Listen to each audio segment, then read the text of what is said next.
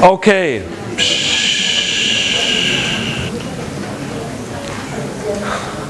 So.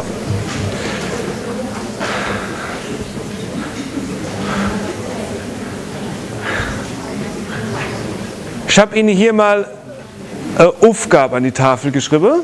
7 hoch 98 modulo 5. Die Frage ist, wenn ich 7 hoch 98 habe, was ist der Rest, wenn ich durch 5 teile? So, jetzt können Sie anfangen, 7 hoch 98 auszurechnen. Viel Spaß. Das macht man nicht. Man rechnet nicht 7 hoch 98 aus. Das ist eine riesige Zahl. Ja? So. Aber letztlich wollen wir doch Folgendes wissen. 7 hoch 98 ist kongruent welcher andere viel einfachere Zahl modulo 5? Also in welcher Restklasse ist dann die 7 hoch 98 drin?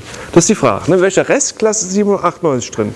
Ist es in der Restklasse von der 0, in der Restklasse von der 1, in der Restklasse von der 2, von der 3 oder von der 4? Ja? Aha, genau, sehr schön. Man kann jetzt folgendes machen. Ne? 7 hoch 98, wir wissen ja jetzt, wenn wir addiere und multipliziere und subtrahiere, dann können wir jede Zahl durch eine andere Zahl aus derselben Restklasse ersetzen. Wir können irgendeinen Repräsentanten nehmen aus der Restklasse. Die 7, die ist 5 plus 2. So, das heißt, ich kann jetzt die 7 hier nehmen und durch irgendeine andere Repräsentanten aus ihrer Restklasse setzen. Die 7 hoch 98 ist dasselbe wie die 2 hoch 98, denn 7 ist kongruent 2 modulo 5. So. Das Ganze hier können wir auch noch vereinfachen. Was können wir jetzt machen?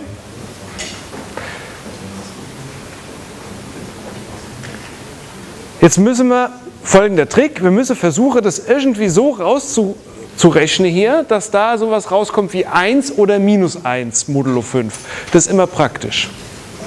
Kriegen wir das hin? Ja?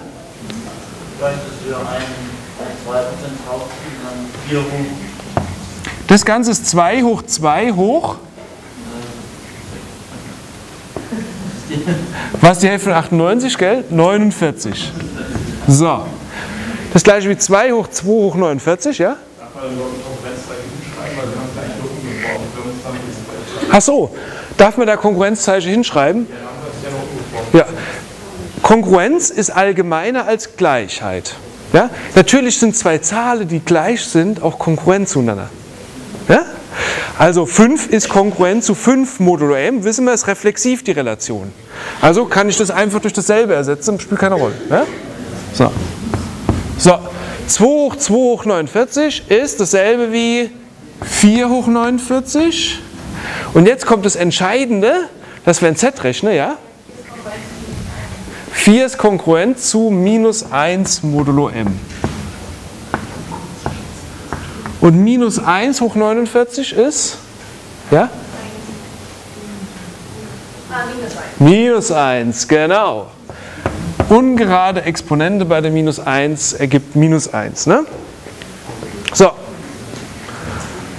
und minus 1 ist der Restmodulo 5, sondern minus 1 ist kongruent zu 4 modulo 5. Ja. Ähm,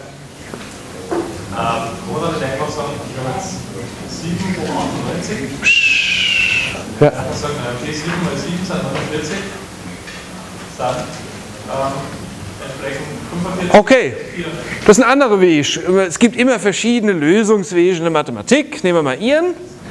Also vielmehr, erst einmal aus der Zeile können wir sehen, dass 7 hoch 98 modulo 5 ist 4. Ja, kommt 4 raus als Rest. So. Gehen wir mal ihren Weg. 7 hoch 98 ist dasselbe wie was? 7 mal 7. 7 hoch 7, 7 mal 7 hoch? Ja? Doch?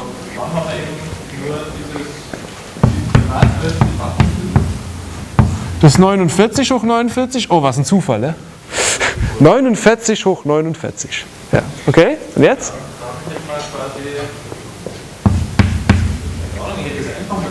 Ja, das ist okay. 49.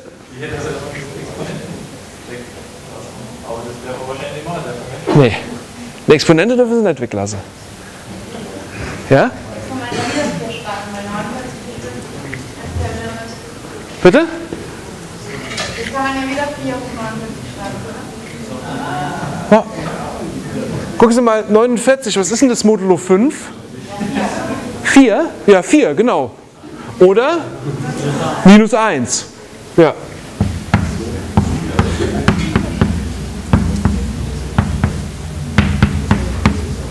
So. Okay. Ja? Nochmal eine Frage, und zwar eben, Ja. 17 mal 12, die Zeit Sie haben recht, ich habe was vergessen. Hier hinten noch hinschreiben Modulo 5.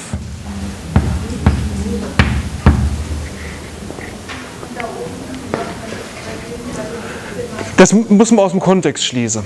Muss man vorher gesagt haben, wir rechnen hier Modulo 5. Ja. Aber bei der Restklasse sieht man es nicht. Ja. 4 oben ist es egal. Ich hätte das jede beliebige andere Zahl auf dieser Tabelle ja auch. Ja, Sie können, Sie können jeden beliebigen Repräsentanten nehmen einer Zahl. Jeden. Egal. Der, der Ihnen günstig erscheint fürs Rechnen. Ja. Ja?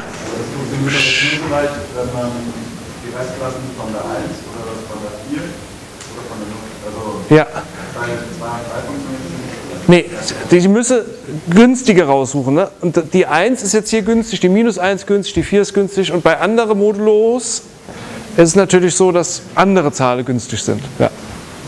Da muss man so ein bisschen üben und so ein bisschen äh, tricky rechnen. Ja. Okay? Frage, was machen wir in dem Fall hier? 7 hoch 99 modulo 5, was machen wir da?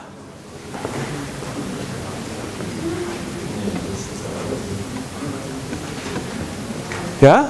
Vielleicht 7 mal äh, 7 hoch 8 mal. Aha, da machen wir es erstmal gerade hier oben. Das war 7 mal 7 hoch 98. Ne? So. 7 hoch 98 ist was? Modulo 5? Haben wir schon ausgerechnet? 4? Ja.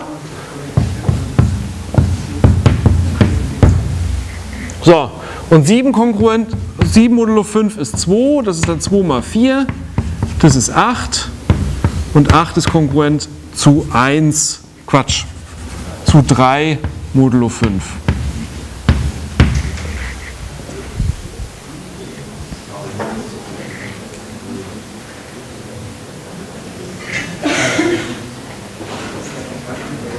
Ja, also das wissen wir, 7 hoch 99 kommt 3 raus, wenn Modulo 5 rechnet. Ne?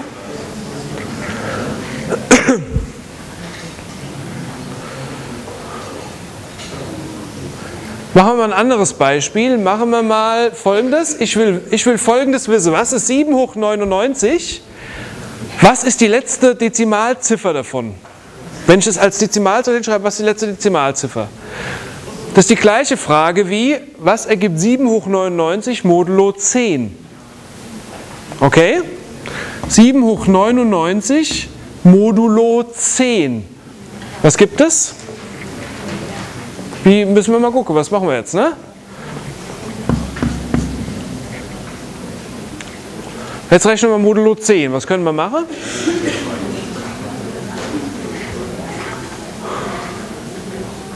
Sieht's jemand?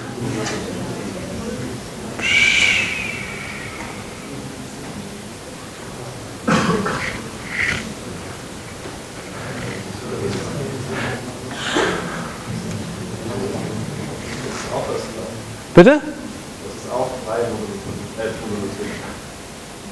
Was ist 3 modulo 10? Okay, Sie haben schon alles. Ja, Sie haben es schon ausgerechnet, aber wie geht man jetzt vor? Das ist ja das Wichtige. Ne? Was haben Sie gemacht?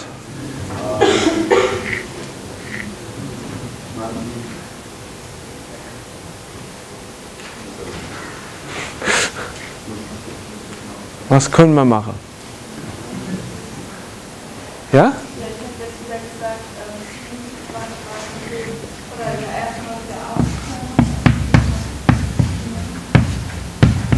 Und dann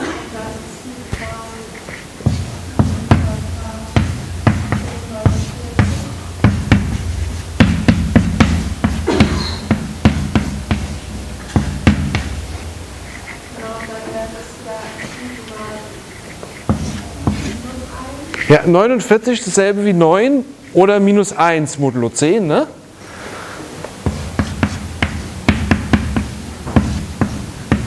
Okay, minus 1 hoch 49, minus 1. Da kommt also minus 7 raus und minus 7 ist dasselbe wie 3 modulo 10. Das heißt, Sie haben recht gehabt, die letzte Stelle ist die 3. Sie können also durch solche Überlegungen relativ schnell herausfinden, was die letzte Ziffer einer Zahl ist. Einer so großen Zahl, 7 hoch 99, die Sie niemals selbst ausrechnen wollten.